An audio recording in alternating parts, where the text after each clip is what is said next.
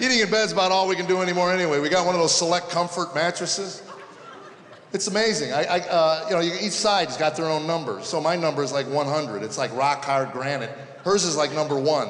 She sits in it and she sinks all the way to the floor, and the mattress wraps around her like a flour tortilla. First night I rolled over to kiss her goodnight, I fell into this ditch. I couldn't get out. And she's laying there going, Get off me, will you? Get off me. What are you doing? Get off me. By the way, if you're a young couple here, newlywed, that's the sound of 50 year old love. Get off me, will you? Come on. What are you doing?